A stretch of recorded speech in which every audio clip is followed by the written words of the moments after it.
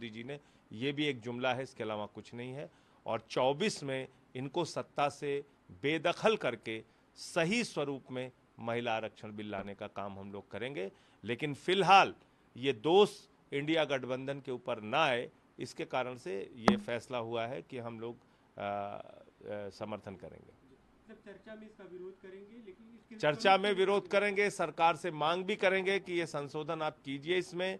और चौबीस क्योंकि जो पिछला यूपीए का बिल था, उसमें तो ये क्लॉज कहीं नहीं थे कि हम इसका सेंसस कराएँगे, फिर डीलिमिटेशन होगा, फिर 10 साल लगेगा कि 20 साल लगेगा कि 15 ऐसा तो कुछ था नहीं।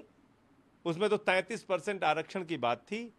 अब आप इसमें नया क्लॉज जोड़ के इसको लटकाने के लिए लेके आए तो क्या इस बात को समझ नहीं रहे देश के लोग? क्या आप चुनाव के पहले फिर से एक बार बेवकूफ़ बनाने के लिए बिल लेके आए हैं? चर्चा में इसके स्वरूप को लेकर विरोध करेंगे लेकिन वोटिंग के टाइम इसका सपोर्ट करेंगे वोट करेंगे हाँ ये एक मोटे तौर पे सहमति हुई है इंडिया गठबंधन दूसरा बड़ा मुद्दा है अभी जो कल जो संविधान की प्रतियाँ बांटी गई सांसदों को उसमें सवाल उठ रहे हैं कि दो शब्द गायब है जो इंग्लिश की प्रति दी गई। उन दोनों शब्दों से भाजपाइयों को कोई मतलब ही नहीं है। देश में अमन चैन हो धर्मनिरपेक्षता हो जो हमारे बाबा साहब डॉक्टर भीमराव अंबेडकर जी की सोच थी जो हमारे संविधान निर्माताओं की सोच थी तो उससे तो इनका कोई लेना देना नहीं है। अच्छा जहाँ तक समाजवाद की बात है, समाजवाद का सिद्धांत क्या कहता है? समता मूलक संपन्नता युक्त समाज की स्थापना, वो इन्हें करना नहीं है। तेरह लाख करोड़ में अपने पूंजीपति मित्रों का माफ़ करना है, अपने दोस्तों के लिए काम करना है, उन, उनके साथ मिलकर देश के बैंक को लूटना है और अपने दोस्तों को हिंदुस्तान से भगाना है, ये इनकी योजना है। तो दोनों शब्दों से भारतीय जनता पार्टी का मूल रूप से कोई लेना देना ही नहीं है।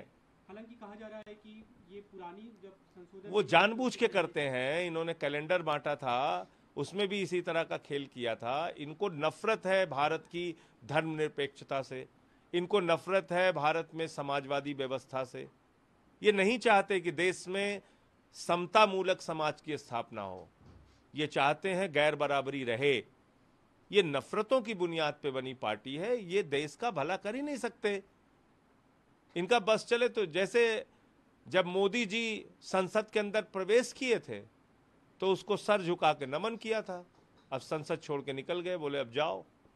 अब संविधान लेके घुसे हैं दूसरी संसद में। वहाँ संविधान छोड़ देंगे, कहेंगे, ठंडे बस्ते में डालो संविधान।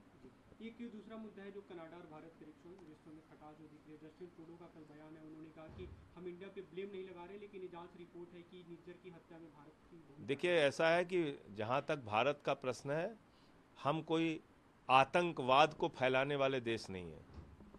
भारत ने दुनिया में कभी भी आतंकवाद को फैलाने का काम नहीं किया। कोई एक आरोप हमारी किसी भी सरकार के, वो चाहे हमारे विरोधी हो, पक्षधर हो, उसकी बात नहीं कर रहा हूँ।